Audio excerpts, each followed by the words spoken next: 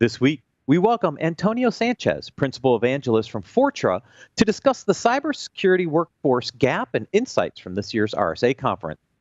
In the enterprise security news, a slow week for funding, but as always, a busy week for AI news. Databricks acquires Okera, CrowdStrike, Fortinet, and other cybersecurity shares rise. Merck might finally get the $1.4 billion payout for NotPetya. Ex Uber CISO Joe Sullivan won't go to jail. Google rolls out passkey support. Do, par- do bartenders make good pen testers? Maybe. We'll talk about that one a little more. ICS using sten- stenography to hide data. DEF CON will unleash hackers on large language models and security's eternal prioritization problem. In our final segment, we air three pre recorded interviews from Zscaler, Island, and Sumo Logic at RSA Conference 2023. All that and more on this episode of Enterprise Security Weekly. This is a Security Weekly production for security professionals by security professionals. Please visit securityweekly.com forward slash subscribe to subscribe to all the shows on our network.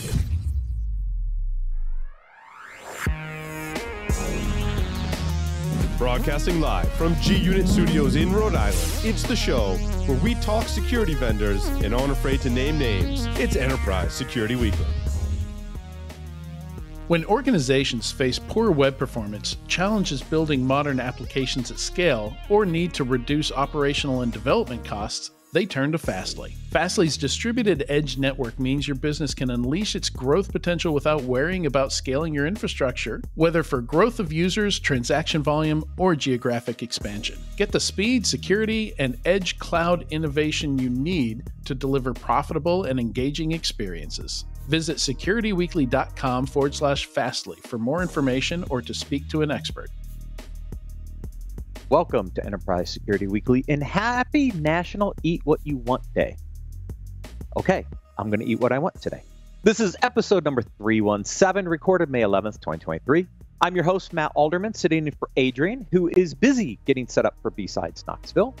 Joining me today as my co host, first, Miss Katie Teitler. Welcome, Katie. Hello, good to see you, sir. Good to see you. I, I haven't seen you in a while. I miss you. Um, it's always so fun to talk to you. Yeah, I missed RSA this year, but that's okay. There's lots of lots of other opportunities.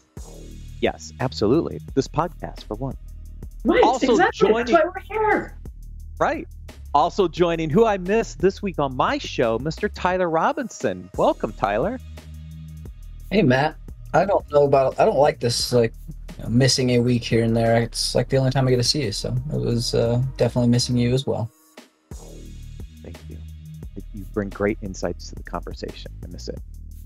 Join us at an upcoming official cybersecurity summit in a city near you. This series of one day invitation only executive level conferences are designed to educate senior cyber professionals on the latest threat landscape. We are pleased to offer our listeners $100 off admission when you use the code SECWEEK23 to register. Visit securityweekly.com forward slash cybersecurity summit to learn more and register today. This segment is sponsored by Fortra. To learn more, please visit securityweekly.com forward slash Fortra. Antonio Sanchez serves as principal evangelist at cybersecurity and services provider Fortra. He has over 20 years in the IT industry focusing on cybersecurity, information management, and disaster recovery solutions to help organizations of all sizes manage threats and improve their security posture. Antonio is a CISSP and has held various leadership roles at Symantec, ForcePoint, and Dell. Antonio, welcome to Enterprise Security Weekly. Hi, thanks for having me here today, and thanks for letting me know that it's a National Eat What You Want Day. Now I just got to figure out exactly what I want to eat today. Yes, yeah, Adrian always pulls in these national whatever days it is on his podcast.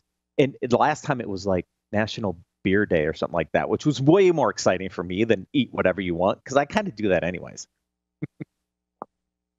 well, it's the only reason I work out is just so I can eat what I want. So now I can do that today and not feel guilty about it. Exactly right. So, Antonio, you wanted we wanted to start first a little bit on the workforce side, and it's interesting. We actually did a, a we have this segment on Business Security Weekly we call "Say Easy, Do Hard." It's it's named after uh, my co-hosts. He, he kind of coined this phrase. It, it's easy to say, it's much harder to do. So once a quarter, we do a "Say Easy, Do Hard" segment where we try to really break in and, and try to solve some of the really hard problems that are hard to solve. And the last one we did was on closing the skills gap. And the question that that we wanted to answer first was is is it a shortage of talent or is it a skills gap? Because there's it, it's kind of interesting. Like, do we not have enough people, or do we those people just not have the right skills to help us fill that gap? It, it's a great question, and I've I've talked to different folks and have gotten different answers. But one of the answers that I keep hearing over and over is there's concern that while there may be some skills, there aren't the enough type of skills or able to demonstrate the type of skills that they want. Because in many cases, organizations, while they know there's a skill gap and they know there's people that want to learn, do they really want to take the time to teach them while they're safeguarding their organization? Um, somebody has to do it. Somebody needs to do it in order for them to to to show value to them as the organization, but somebody's also got to take the chance to be able to show them to do just those things. I mean, some of them can get it through education. Some organizations have great programs to be able to start them off at a beginner into a junior level, into a senior level. And with that, there's always a concern are we going to take this time to bring these people up to speed and get them to where we want them, only to lose them to a competitor after we've invested so much into them? There's programs in different parts of the world where they're actually fast tracking professionals into that because the need is so great that they'd rather take them even though they're junior level to be able to put them in those roles and whatever they can contribute is still better than what they had before but in other places it's kind of the the, the mindset of we don't necessarily want to take the time to get you there to then lose you so it's it's organizations have to decide what works for them.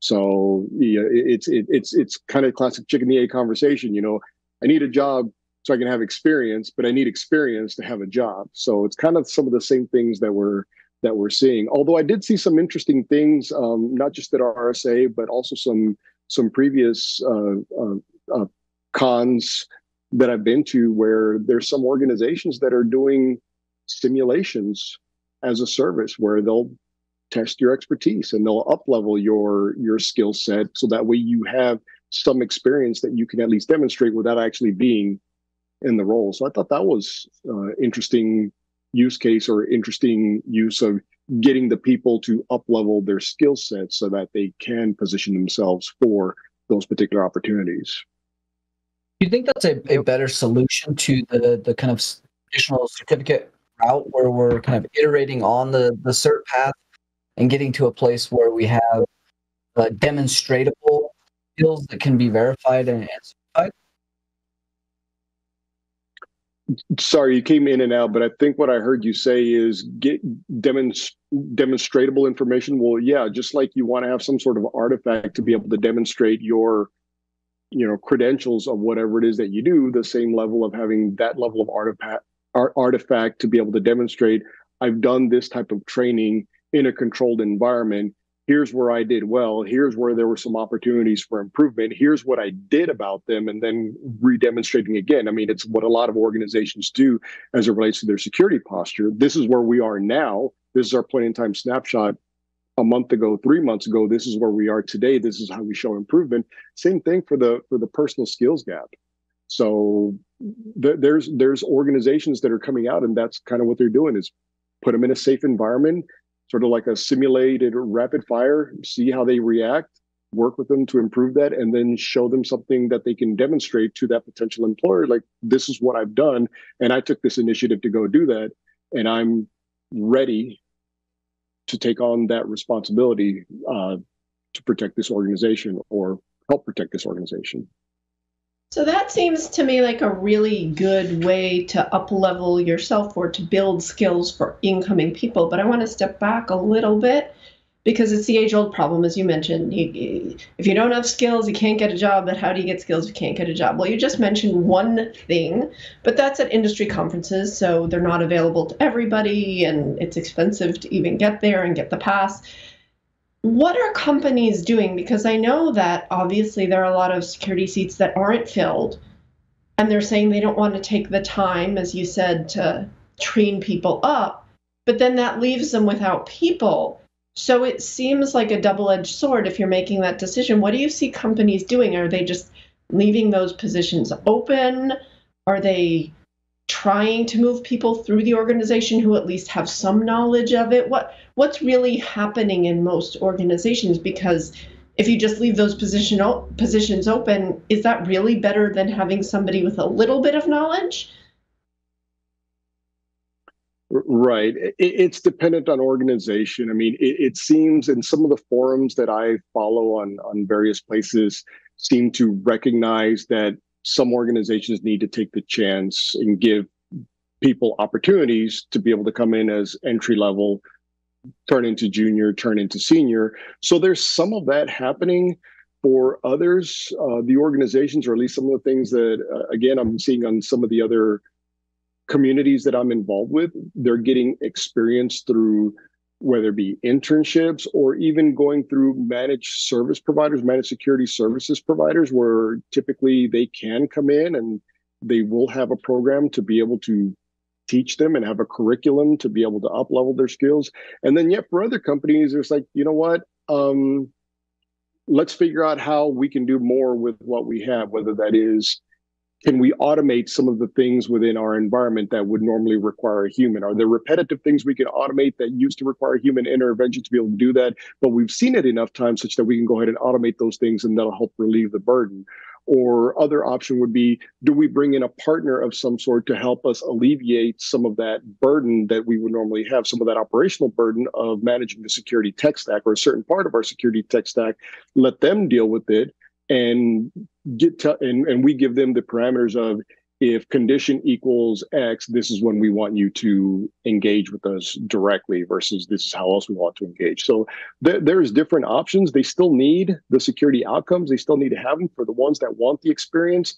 There are a few avenues, but for the organizations that need to solve for it, if if they can't figure, they their their best bet is to either figure out how they can automate within their environment across their operations. If not, look to potentially bring in a partner to help them with that and relieve some of that burden for them. Yeah, that was actually so going to be my next question. So I'm glad that you hit on that. You know, in a lot of cases, companies are reluctant to automate. They're they're nervous about the outcomes, and then there are those people who think that they're going to be automated right out of a job. That's absolutely not true. I mean, at least not in the foreseeable future. You need these co-pilot type of situations in your organization. Um, but but are you seeing more people embrace automation? Because you know, I see it at my current company with what the product we offer and in talking to other companies, knowing people are just hesitant about automation, even though some of those low level tasks are really not necessary to be done by a human. Right. There some of those low level tasks. I mean, it's low value to be doing those. So figuring out where to automate. And there's always that hesitancy because you hit it right on the head. What if I automate something and I have some unintended outcome where I get yelled at for stopping, you know, a revenue generating asset, for instance, or I revoke a credential to an executive, eh, you know, that, that shouldn't have been revoked or something like that. Um, but in the last few years, I mean, we the the number I keep seeing thrown around, and you've probably seen this. ISC squared has, has quoted this a few times. The number tends to hover between two and a half to three million unfilled jobs, and it always hovers around that job. And organizations are realizing that that number is really not going to get much shorter or much smaller anytime soon. So they have to adopt autom- automation to be able to help but going back to there, there there's plenty of, of, of opportunities to be able to see enough of the same repetitive action happening over and over and over. And maybe isn't a full automation. Will they say if you see this action go ahead and take x action. But rather if you see this action give a recommendation immediately to whoever the security leader is. Given the opportunity, we see this action, we recommend you take this action or do nothing or reassign it for more thing for, more evaluation.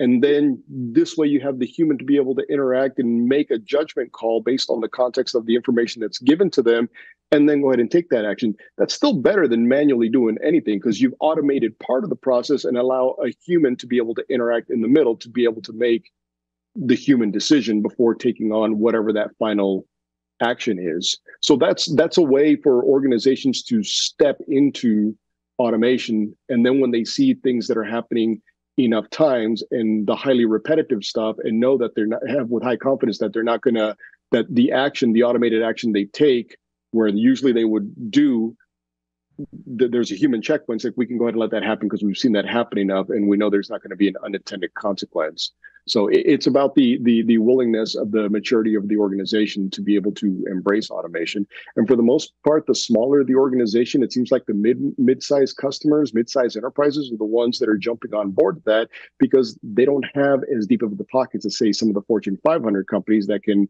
offer you know a, a, healthy compensation package to somebody with with the skill set to maybe do some of those things but even the bigger companies are doing the same thing because complexity of those environments. Where can they automate? It's where SOAR became so popular the past few years, where SOAR was a category, and then all of a sudden you had SOAR vendors become embedded SOAR capabilities. We had a lot of other organizations that were that, that had embedded SOAR capabilities, so they can embed some of these automations within their uh, within their within their within their tech stack. What what areas of automation are you seeing um, being highly successful for some of these organizations, right? There's uh, the difference between automation and artificial intelligence, right? I don't think artificial intelligence in and of itself so far has proven that it can handle everything. So there's smart integrations of uh, the AI chatbots, all the the uh, mach- machine learning of the world that we're trying to integrate into all of our tools. But then there's also the the automation piece, which is completely separate and or can be integrated in together. So what parts are you seeing the companies are leveraging these things successfully, and what areas do you see that are a little immature still, and we still have uh, a substantial amount of testing and, and vetting to do in order to get to a place where this is useful and, uh, from a budget and time constraint standpoint, uh, viable for a business to actually leverage. So a few places that that we've seen are things like log review. I mean, just about every single compliance mandate requires some sort of level log review. Well, you've got logs coming in from a number of different sources, from your tech stack to your cloud security providers to your specific security stack, and being able to automate some of that to be able to eliminate that first line of noise, potentially even that second uh, level of noise. So that way you can get to higher fidelity information that is more manageable for a human to be able to look at. Other places we've seen have to do with, you know, I mean, if we think about EDR as a technology, EDR has some automation already built into it because if it finds something malicious, it'll isolate a host off of a network. Other things that that we've been seeing with some success include things like um, shunning an attacker, updating a policy to be able to block a certain IP, uh, being able to uh, um, um, disable credentials for any sort of um, event that looks that that has high confidence of being a compromised credential. So some some things like that Uh, is is where we're seeing it. But at the end of the day, I mean, there's there there's there's multiple mul- there's multiple opportunities for for things to happen, and in the world that we're kind of living in, the more that can happen at machine speed, the faster. Because we're not going to stop all the bad guys from getting in, but the better we are at being able to help detect some of that and having some of these actions happen at machine speed and having a human interact in places where it makes sense before that action takes place is still better um, than you know uh, than before to limit the potential impact of whoever it is that that's gone through. And there's other use cases, provisioning systems. I mean, uh, uh there's there's there's there's lots of places that is not necessarily always within the security part of the tech stack. It could be in the in the operational part of the tech stack. So, like I mentioned, go provisioning a new user. There's a lot of automations with there, and many times it's it's the the workflows that they have built in. So some of the things that, that, that at least we've been seeing and talking with customers and, and partners as well. No, those are those are great examples. Honestly, those are the examples I was hoping you would kind of use uh, directly away from some of the security pieces.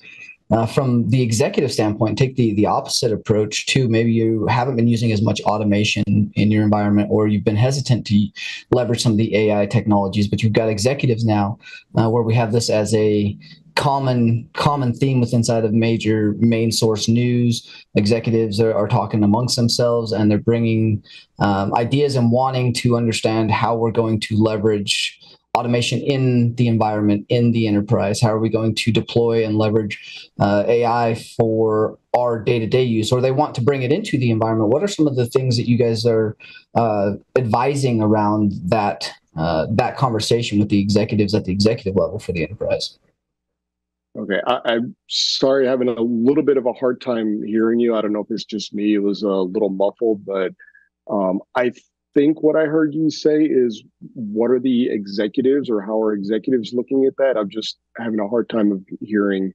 I'm not sure if it's I'm having no, yeah, audio difficulties. It, it may be it may be on our side, but yeah, the the executives. How are we bringing that conversation where the executives are asking, are we going to be delivering uh, AI or using AI? How we looking in the enterprise to begin implementing AI? Uh, what are the, some of the conversations around that from the executive and enterprise side, and things that uh, executives are starting to talk about and and ask about?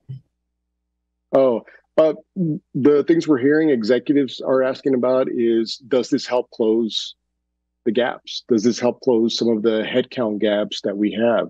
Does this put us at risk for something? I mean, there's always something in the news nowadays. It seems like you can't go a day without seeing some AI technology that put somebody's information on compromise. A certain generative AI company was in the news this week, or that last week, I think, for for just that.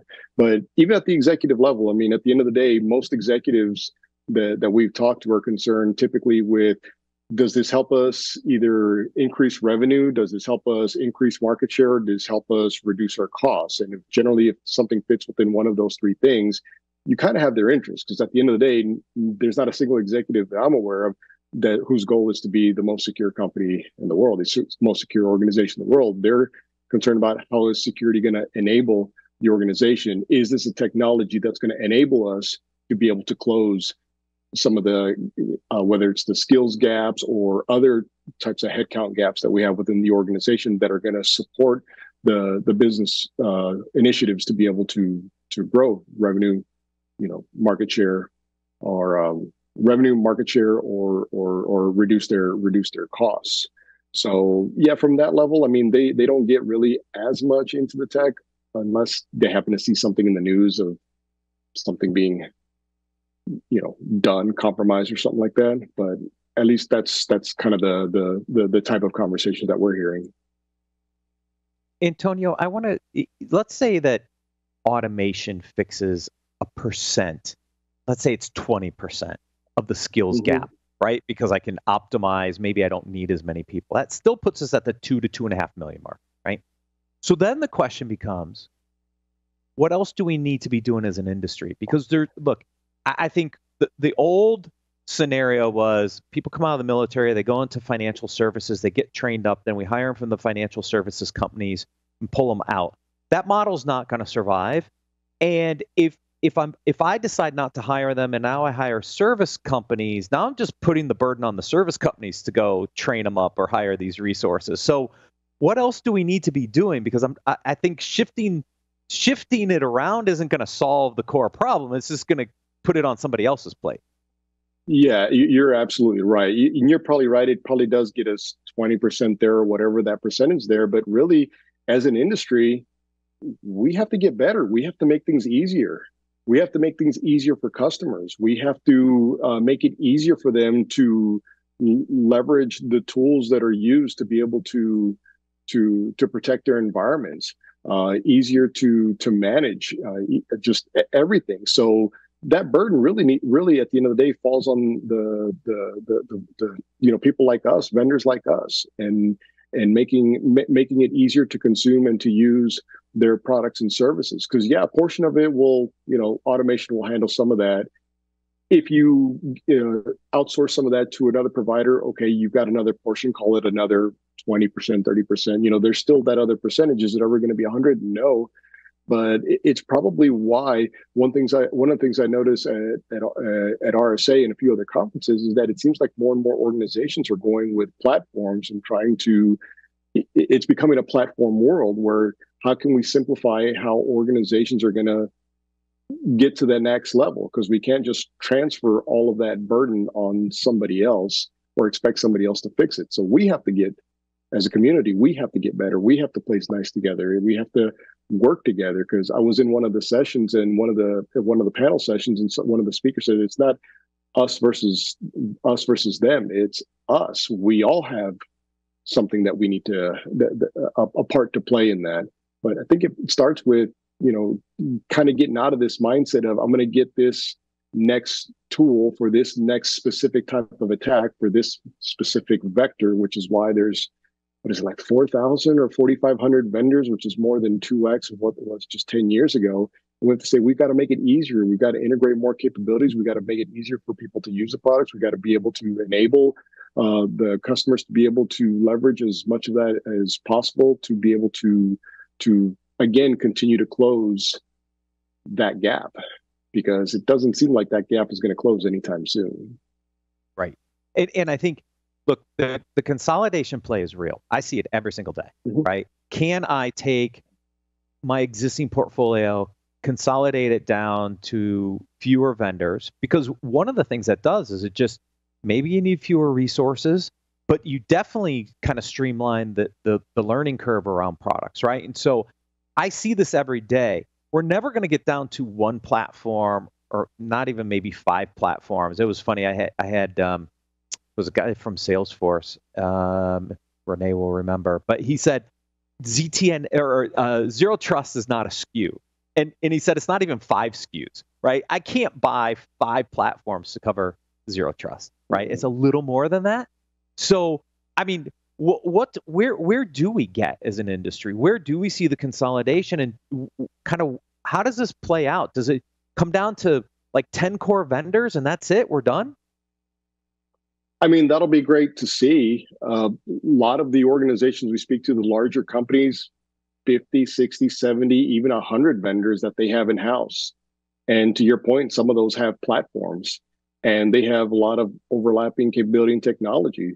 So the vendor consolidation, it, it's real. And is is the number going to be 10? Is that the number that organizations are going to try to strive for? Maybe. If I'm a vendor, if I'm a company that has a hundred uh, a hundred vendors as part of my security stack is my goal to get 10 well that's probably not realistic. Is my goal to get maybe 30 possibly that might be more realistic but part of that is just also understanding your environment understanding uh, where how how the data flows understanding what you need to do to be able to protect that and then being able to evaluate uh, what are the things that are going to allow me to be able to do that, but scale even beyond what my data protection team has to do, as well as my vulnerability management team is going to have to do, and maybe even some of my operations team can be able to to to to use as well, and scaling that down to something more more manageable. Uh, but we hear we, we've been hearing it a lot. It's like it'd be great if somebody can do the hard part of just stitching this stuff together. All these things that are out there, somebody go out there, stitch this stuff together, give it the same look, give it the same feel, make everything kind of behave the same as I needed to behave uh, to make it easier to to to to adopt. So you know, is the number ten? Maybe maybe that number is fifteen, but ten and fifteen are still better than seventy. So you know, time will tell. We'll wait and see. But but but that's that's one of the things that we're we're focused on is to hopefully be one of those ten or one of those fifteen that provides something with a lot of capability. Yeah, you know, I'm, i did interview John Grancarich when we were at RSA. He runs your strategy side. I asked you before mm-hmm. whether you reported to him or into, into Mike Devine, but you know, that's where I see some very interesting movement with what you guys have done. I don't think people realize all the companies you've acquired, but more importantly, not just the acquisition, about how you've been stitching them all together to create a more cohesive platform, right? I mean, John was talking about this when, when I interviewed him at RSA a few weeks ago of how deliberate you've been about making the look, the feel, everything very consistent. And I think that goes a long way when you start thinking about consolidation and the impact on skills. If everything works and feels the same off of a common platform, the learning curve's less and maybe the number of resources to manage it are less, which which would be a benefit in this particular environment. Yeah, absolutely, absolutely, and and and that's that's exactly what we're what we're working towards because again, we recognize the skills gap, we recognize the short the the shortages, we recognize that's not gonna that it's probably going to be around for at least the next five years. Uh, we recognize the requirements as it relates to automation as well.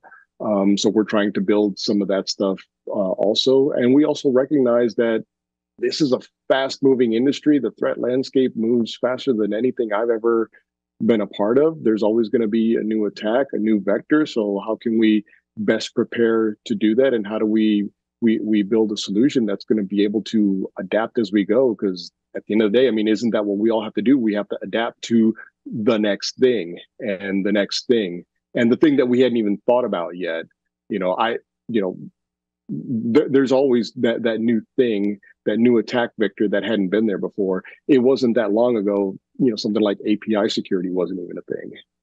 What's right. an api who was working with apis and now there's organizations that that do that. So yeah that's that's that's the that's the idea that's the strategy that's the hope that we're able to get to by being able to um, help organizations to be able to make it easier to consume the products and hopefully build a solution that makes that learning curve a little lower and makes it less of a burden in the event that they do have turnover and they can bring somebody else in and kind of pick up right where the last person left off. So let's tie this into insights from RSA because at RSA, I go to t- two primary places on the show floor, right? I go to Early Stage Expo, and I go to all the perimeters, right? Down the sides and the back. Like I know all the guys in the middle. Like I've been in the industry long enough. I know everybody in the middle. I want to see all the other ones. And here's my concern. We have a lot of me too's. Like I went through early stage expo, there were four island competitors as in early stage expo, all trying to build a secure browser. Like do we need five secure browser technologies? Like, are can people survive in these kind of point solutions? And so, it was interesting for me to walk through the floor to think about how many of these guys can actually survive as a standalone, knowing what we just talked about: consolidation, platform, in, highly integrated. Do the point solutions have much of a chance? And, and did you see the same thing, or did I I miss something? I, I, so I typically I there's a few things I do aside from catching some sessions here and there that I always uh, learn something from. For me, I like learning kind of the legal side, so the law related kind of stuff uh, about security. But I I do the same thing. I walk the show floor. I'll do a loop around the entire floor. I'll see who's up at the front. I'll see who's in the back, who's in the sides, and see some ahas. And some of the some of the vendors that I see in there, it, it does make me wonder. You know are they really, you know, one of however many five or 10 in this particular category? Are they really committed to doing that? Or are they out there to maybe hopefully get, cons- you know, get bought by somebody? Because there's a lot of folks that, that do that as well. Um, the number of, of vendors that came up to our booth and asked us about partnership opportunities and filling a gap in you know what we do because you know while we have a great portfolio we don't do everything um, I don't think any company does everything unless you're one of these, you know, mega large integrators that can choose whoever they want. But there were people that were walking us that were interested in saying, "Hey, we're interested in some partnership opportunities. Um, hey, would you? We've got this right here. Is that something your organization might be interested to add to your portfolio?" Kind of hinting at potentially acquiring. I mean, you know have to ask uh, other people about that but but but that happens as well. I'll tell you one of the one of the aha moments or one of the surprise moments that i had at rsa and this is my first rsa since 2019 um, when i used to go to rsa in black hat i would see the fbi booth on the outskirts on the edge in the middle. This past rsa they were in the main part of the floor in the middle of the floor and uh, and they had FBI and NSA next to each other, and then a few feet over, they had CISA over there as well. Wow, I've never seen NSA or CISA at one of these. Maybe they were there last year or the year before, but in years past, I've never seen them there either. So, you know, they're they're doing some things. So I, I also take notice of who's in the main part of the room versus who's on on the outskirts. And as far as the entrance, the in in particular category, I mean, we could argue that we could argue that with a number of things. Like if you look at some of the original SIEM vendors, and then some of the vendors that came out a few years ago that were in the UEBA market, and then those that turned from UEBA to next gen SIEM, and then look at the number of endpoint security vendors. It seems like every you know for a while there were a bunch every few years. Um, there's new email security vendors, and email security has been around for the longest time. So there's always going to be kind of a new vendor or a new uh, somebody new to enter into the space. And it, it it it really depends on what is it that you're able to do what is it you're able to do different how well do you integrate? Because nowadays that's what customers want to know is how well do you play in the sandbox with this organization and that organization and this provider and that provider if they have something that's of value, I mean, that's why people are taking notice and that's why they're doing that. Now, let's wait and see five years from now how many of those are still there versus how many of them get scooped up potentially versus maybe the ones that don't don't make it. But you know, it, it, I it, it's a little surprising, but at the end of the day, when you take a step back and you look at the history of some of these categories out there, you know, like oh, okay, well that makes sense. You have multiple that are in the same type of category. Yeah, when money was cheap, it was one thing. Money's a lot harder to get these days, and I think is really interesting to see how many of these guys survive with a I'm just going to build the next gen of X, Y, and Z. Because I think some of the established players in the market are going to be really hard to rip and replace out in a consolidated kind of flat budget cycle. I'm not sure all the startups have figured that out yet, but from a from what I see on the enterprise side, that's exactly what's happening. Mm, yeah, absolutely. I mean, the organizations are taking longer to make their decisions. They're scrutinizing to a new level. Um, in some cases, especially with some of those lesser known organizations, they want to know the health of the organization before deciding to pull the trigger. I've been at startups in my career. I was a part of those conversations, or I knew those conversations were happening where they wanted to see the books. Now, whether or not they allow an, an organ, a potential uh, client to see their books, who knows? But yeah, I mean, sales cycles are taking longer um, because they are putting much more scrutiny into what they do. And not only that, but they want to ensure that for a, a, vendor that they say, hey, you told me that you can do this. I want you to show me you can do it and show me that it's real versus saying, oh, we're doing all these things and we can promise you the world that we're the greatest things in sliced bread. And then when it comes right down to it, you realize that they can't, they couldn't, um, they couldn't do everything that they said they they could do. Yep. Yeah, I mean, I'm seeing POCs to prove it out before they buy. I'm seeing uh, scrutiny on every single renewal. Renewals are being scrutinized across the board. It used to be if it was in the budget, it just went through. But now every every renewal is going through is almost as much scrutiny as a brand new purchase these days, which is just it's squeezing the little guys. I'm just telling you, right? And and mm-hmm. I think that's where the larger platform, l- larger capability companies have an advantage in the current market right now, only because it, they they can offer more as part of a contract instead of piecing a bunch of things together. And I think that's the paradigm we're going to be in for through the rest of this year, well into next year. And the and the question will be how long does it go after that until money gets right. easy again? Absolutely, and, and you consider the the turnover that happens at the leadership level of most of these organizations. I mean, every new leader is going to always scrutinize every dollar that's being spent because in some cases they're walking into something and they're unsure what that is so they're going to scrutinize like do we really need this right here or you know let's understand the outcomes that we're getting with this. Could we continue to get these outcomes with something else within our stack, or could we replace one or two or multiple products from the stack with something else? I mean, they're looking at doing that as well. So, you know, absolutely, you know, at renewal time, they're doing the same thing. They're doing their due diligence, they're scrutinizing every single dollar that's being spent and understanding is there a better way we can spend this and improve um, our security posture with the dollars that we're spending. Yeah, absolutely. I, am going to let Tyler or Katie get back in here because uh, I kind of monopol- the RSA conversation. I do have one follow up if nobody has one, but I, I want to give them a chance first.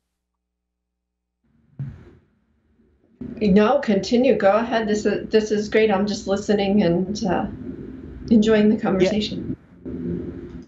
Thank you. Uh, supply chain, right, um, was a is an interesting one. I think of supply chain a little differently, Antonio. Right now, uh, the MSI UEFI vulnerability at the chip level. We've got some interesting things going around chip manufacturing. Like when we think about supply chain, sometimes we think about the finished product, but this is morphing very quickly into the components that are building end products. How scary is some of these new supply chain attacks down at kind of the chip and firmware level? Yeah, it's it's it's it, the the number of hands that things pass through in order to do business nowadays, whether it be down to you know a whatever that finished hardware product is or even just whatever service that you're getting from another provider um, you know it's it, it's one of those uh, problems that's that every single organization is having to deal with. Um, especially something that lives directly on a on a component like how do you look for that how do you ensure integrity of your finished product or finished good when you're getting components from different suppliers and manufacturers. And the same thing can be said about how do you ensure integrity when you're doing, you know, you're getting a service, not even a finished product, but you're getting a service of some sort from one of your from one of your business partners as well that that has that they're taking the proper precautions and have the the levels of of scrutiny to protect their organization because something that happens that their organization could potentially affect yours as well. So, you know, definitely a theme, definitely something that's on the top of mind of, of organizations. At the end of the day, it has the at least from what we you know for, for us the, the the the supply chain at least the way we think of it and the way the customers tell us is things like I don't worry about the people that I do. Well, I not only do I have to worry about the people the organizations that I do business with directly, but my supply chain also extends beyond that. It's my supply chain supply chain. And that was something that was brought up not just at RSA, but even previous conferences as well, is the supply chain ecosystem as a whole. Whereas some are involved in the chip, the hardware, the finished product, others are involved with the service of potentially that, if not just services in general, and ensuring that they're taking the same level of care to protecting the organization such that they don't do something that puts somebody within their supply chain um, in a in a in a bad position. So it'll be a theme that's going to go on. It'll go on well past this year and into next year as well. And it, it's definitely something that's uh, that's top of mind for again organization. Whether it is something that you're getting a hardware product, a hardware component within there, all the way to a service that you're working with with with one of your with one of your partners. Do you see yeah. the do you see that supply chain trickling down into the vendor space where we're going to be requiring the ability for interoperability, integration, and a lot le- a lot better collaboration with inside the ecosystem between all the platforms and products, no matter what you're using, uh, in order to combat some of this you know really difficult supply chain tax uh, complexity uh, adversaries that are just much more sophisticated. Do you think all of that's going to have to play into the vendor space as well where the the integration happens more? I i think we have to. I think we absolutely have to. We have to you know it's like you know uh, again we're stronger together. We have to play nice. We have to we're we're all fighting the same enemy and those are those bad actors regardless of where they are in the world. So as an organization we have to the more flexibility that we can build in as a as a as a community and not just a vendor community just a community is uh, uh, in general the better we're off we're going to be with respect to visibility with respect to detecting things faster with this respect to adapting to the new to to the new uh, tactics and techniques of the bad actors and the nefarious actors so you know, it seems to me like we don't have a choice. We we have to do it, or we as a community, as an entire security community, have to do it. Uh, yeah, we rely on these components for some of our gear that we use to actually offer up security services, right? So I mean, it behooves us to to be part of the solution to this as well, because think about all the firewall vendors and, and folks that that are selling appliances and all the other things. Like this could have huge impact to these security solutions because they're running on this hardware that potentially could be compromised. It's yeah, I think it's a big problem. Yeah, uh, absolutely. Antonio. I mean, it, it, goes back to you know, I, I thought the theme again. Sorry to go back to RSA, but I thought the theme was appropriate, which is stronger together, and that's what we need to be. Is yeah. we're stronger together. Yeah, absolutely. Antonio, thank you so much for joining us on Enterprise Security Weekly. Thank you for having me. Make sure you visit securityweekly.com forward slash Fortra to learn more. Stay tuned. When we come back, we're going to go over the weekly enterprise security news.